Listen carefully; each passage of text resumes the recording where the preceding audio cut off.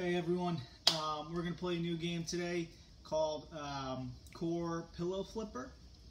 It's gonna be a, a game slash workout where you're gonna be working on your core, feeling this workout in your core. The first thing that you might have to practice is kind of, um, it's gonna be kind of like a, sorry,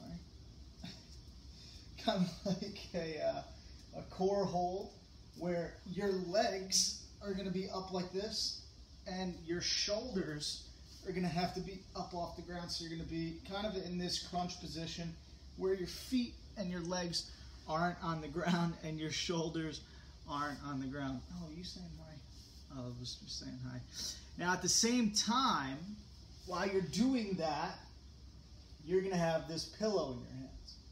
And you're going to try and flip the pillow and catch it with your two hands. Now, you'll keep score. You're going to do this for about 30 seconds and see how many times you're able to catch the pillow in your hands. All right? There's going to be times where sometimes maybe you don't flip it, that won't count. If you flip it, oh, but you drop it, pick it up, and continue. All right? Um, but again, the main thing is to hold it into a, you know, this core hold position for 30 seconds. And at the same time, try and do that pillow flip. So I'm going to time myself. Um, give me a second.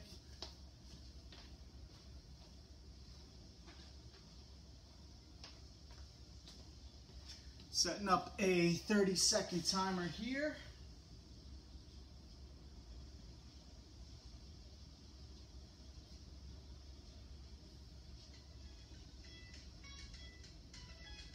Play some music.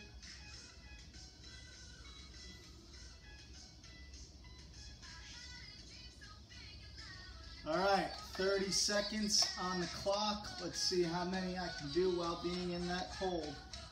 I got my pillow ready, and I'm off. One. Ooh, that doesn't count. One, two,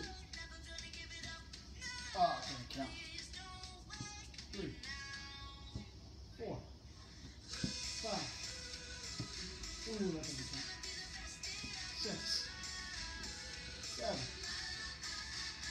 eight, nine, ten, eleven. Oh, time. So I got 11. Almost had 12 there. Um, but again, awesome core workout.